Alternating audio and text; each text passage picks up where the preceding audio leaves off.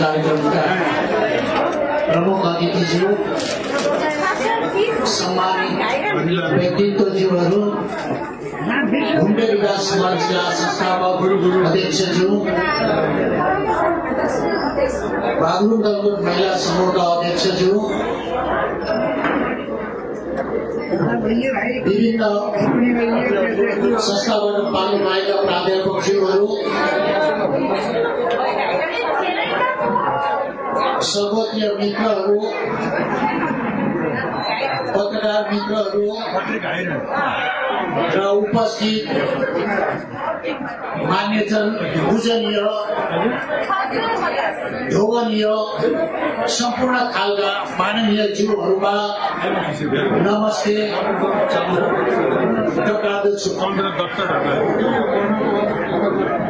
सर्वप्रथम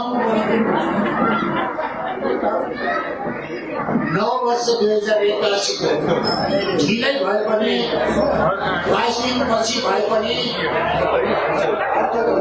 यहाँहरू सबैको चाहना होस् जीवनमा नहोस् कुनै बहाना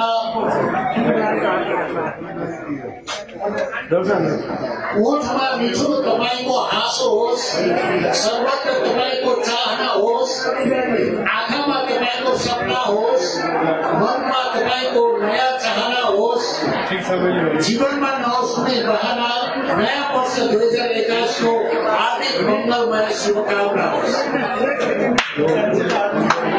नयाँ वर्ष शुभकामनाले यहाँहरूको सम्पूर्ण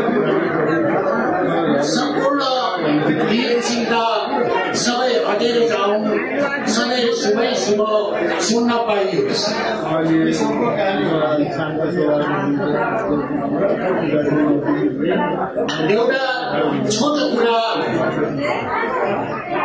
गलकोट समाज वनस्थली अथवा गलकोट समाज काठमाडौँले राखेको प्रस्तावमा गलकोट समाजका उपाध्यक्ष परिवर्तनज्यूले जुन प्रस्ताव राख्नुभयो त्यसको चाहिँ भूमि विकास मञ्चले हिँडेदेखि मनन गर्नेछ र हाम्रो संस्था एकरूपता भएर हिँड्नेछ भन्ने म यो एकताको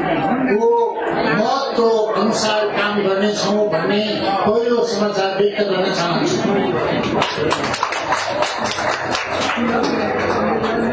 मैले लामो बोल्न चाहिनँ। आजको समान कार्यक्रममा professor doctor Sharma KC professor doctor Chittabahadur बुढाथोकीज्यूलाई हामीले सम्मान यो काठमाडौँमा बसेर गलकोटको माटो बोलेको हो गलकोटमा जन्मेर काठमाडौँमा आई विभिन्न पेसा व्यवसायमा संलग्न भएका पनि गलकोटले विभिन्न किसिमका संस्थाहरू उत्पादन गरेको छ। शिक्षा क्षेत्रमा साङ्गीतिक क्षेत्रमा साहित्यिक क्षेत्रमा सबै क्षेत्रमा राम्रा राम्रा किसिमका संस्थाहरूलाई उत्पादन गरेर आएको अवस्था हो। अब छोटकरीमा पुस्तक विमोचन क्रियामा मनुष्यलाई मैले विशेष गरेर धन्यवाद दिन चाहे किनभने उहाँ फर्केर सालसम्म भित्रै गलकोटभित्र बसेर यो लेख लेख्नु भएको छ। त्यहाँ बनाएका पात्रहरूमा विभिन्न किसिमका विचारहरू अव्यक्त भएका पनि वास्तविक गाउँको भाषामा उच्चारित गाउँकै लयमा प्रस्फुटित यस उपन्यासमा मौलिकता छ। तपाईँहरू सबैले यो बालु उपन्यास लिएर भने गलकोटमै बसेर अनुमान गर्न सकिन्छ। कुनै कुनै कुरा कस्तो लेखिएको छ भने सल्लाह दिने मान्छे जन्म दिने बाबुआमा र सल्लाह दिने साथीभाइ प्रमुख हुन्छन् जस्तो मलाई लाग्यो। जस्तै उदाहरणको लागि पारु जस पार्वतीबाट प्यारो शब्दमा पारु भनिएको छ। यो पारुमा एउटा उसको साथीले दिएको सल्लाह छ कि पारु गर्भवती छ कसैको गर्भधारण गरेको छ तर उसको विवाह गर्ने समय पनि आइरहेको छ। ऊ बल्ल सोह्र वर्ष लागेको छ। अब त्यही बेलामा माग्न पनि आएका हुन्छन्। किनभने त्यो बेलामा बाबुआमाको अधीनमा बच्चाहरू हुन्थे। बाबुआमाको सोच अनुसार विवाह वर्तन गरिन्थ्यो। त्यसमा एकजना साथीले के भन्छ तेरो पेटमा बच्चा छ तर अर्कैको। अलीको बच्चा छ। प्रस्फुटित गर्न सकिएको छैन।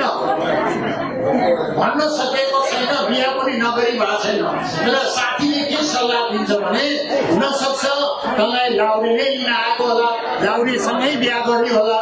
ठिकै छ नि त। लाउरीसँग बिहा गर। लाउरीसँग सँगसँगै जा देहरादुन गइसकेपछि आठ महिना पनि त बच्चा जन्मिन्छ नि। आठ महिनामा जन्मेको बच्चा झन्डै भाग्यशाली हुन्छ अरे। भन्छन्? अनि सल्लाह दिन्छ उसको साथी। यही सल्लाह अनुसार ऊ देहरादुनमा जान्छ पानी। त्यहाँ दुई चार वर्ष बसेर आफ्नो सन्तान जन्माउँछ कसैलाई पत्तै लाग्दैन। एउटा महिलालाई दिनुपर्ने जुन सजग हो त्यो यस उपन्यासले दिएको छ।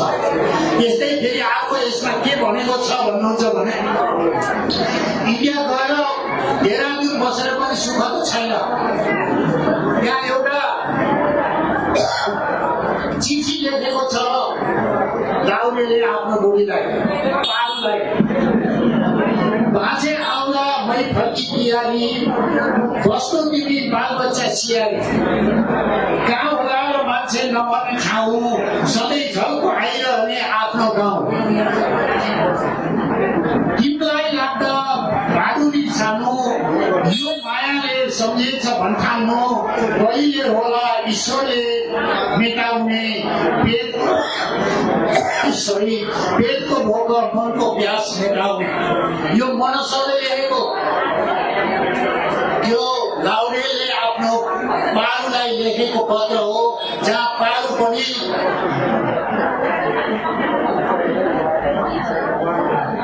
गाउँ गएर सँगै आफ्नो सम्मानसँग बस्न त पाउँदैन नि त्यही भएर ऊ गाउँ जान्छ ऊ लडाइँमा चाहिँ घरमा बस्छ त्यो बेलामा लेखेको चिठी हो त्यही अनुसारले यहाँबाट धेरै कुरा सिक्न सकिन्छ। त्यसैले लामो समय नलिकन यहाँलाई पुनः शुभकामना नयाँ वर्ष दुई हजार एक्काइसको शुभकामना। जताउँदै यहाँहरू सबैलाई आफ्नो अमूल्य समय खर्चेर यस ठाउँमा आई गरिमा बढाइदिनु भएकोमा यहाँहरू सबैलाई विशेष धन्यवाद दिँदै आजको यस कार्यक्रम अन्त भएको घोषणा गर्छु हस्त धन्यवाद।